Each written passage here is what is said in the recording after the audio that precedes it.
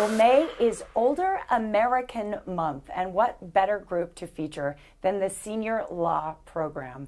I'm here with Diane Fearon. She's the Executive Director, and I'm thrilled to be inside this library. We are celebrating all the great work that you have been doing here in the Valley, helping thousands of seniors. We are grateful to have you here. And out of this building, we do help thousands of seniors and we take care of the legal needs they have at no cost to them. It's a very unique program. It's something we want all the seniors watching to know about. Uh, what is it unique about your law practice here? At Senior Law Program, to qualify for services, it has to be a senior individual living in Southern Nevada, so that's Clark, Nye, uh, Lincoln, mm -hmm. and Esmeralda counties, and then it has to be in an area of law that we help with so that folks who are low income or on a tight fixed income, we are able to help.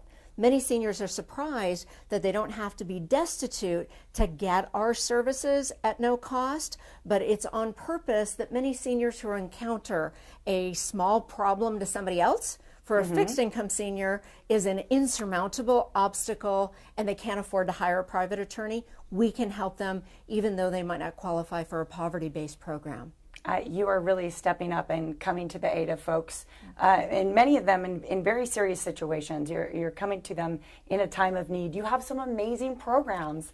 Let's talk about all the things that you offer to, ser- to seniors. Thank you, JJ. We do quite a bit in the area of basic estate planning, and that has to do around the cornerstone of every senior and truly everybody should have a power of attorney for health care. Mm -hmm. That is a document mm -hmm. that speaks for you at a time you can't speak for yourself, so that the economic and social impact of having that important document done cannot be overstated. We offer clinics in our office here in the large conference room of up to 12 seniors, and that that would be for the power of attorney healthcare document and getting a tutorial in the education on basic estate planning. Mm. But they have the opportunity to leave with a completed document.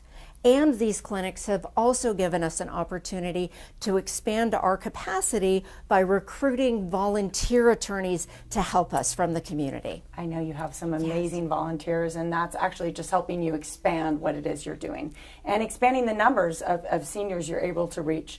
This is a nonprofit. Uh, the program's yes. been around in the Valley here for a few decades, but as a nonprofit uh, for over a decade, tell mm -hmm. us how you are funded. The funding we receive is from grants through Aging and Disability Services Division. We also get a portion of Nevada Bar Foundation dollars that are earned on attorney trust accounts, as well as some court filing fees. Mm -hmm. In addition to those three major tenants of uh, the type of funding we get, we started fundraising and other activities last year that have mm. shown some real promise. And to the extent that I'm excited to share with you, we're going to be able to expand from a staff of 12 today to we're hiring an additional legal assistant, which is going to directly impact the number of seniors who can be helped. Great. So you will be 13. Yes. Lucky 13. That's wonderful. Congrats. We like that number here at Channel 13. Yes. Uh, and this is incredible because the people you have working here, like yourself, are so dedicated uh, to the to the to the wellness and and and the you know the success of our seniors here yes. locally. Yes. You're really helping lift people up. If people want to apply for services, how do they qualify? being a resident in southern Nevada and age 60 and over, and then being in an area of law that our four hardworking, amazing staff attorneys handle is all that is necessary to qualify for service. There might be a wait time because, as you mentioned, as a nonprofit, our funding is limited, even if the demand for our services is unlimited. Mm -hmm. um, so it might be a, a, wait time of four to five months to see an individual attorney.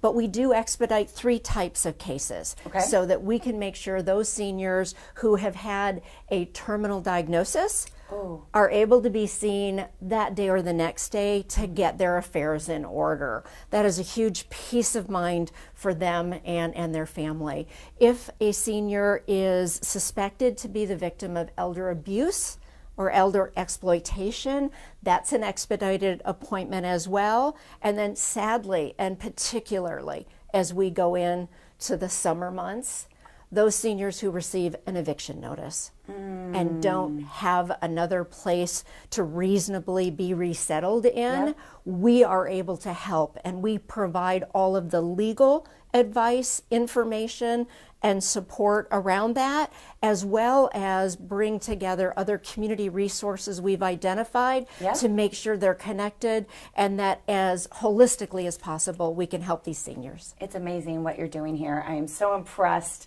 uh, with the efficiency, and uh, this place is thriving. Make sure you have their their phone number. Senior Law Program located on Sahara, beautiful offices, and they are here to serve you.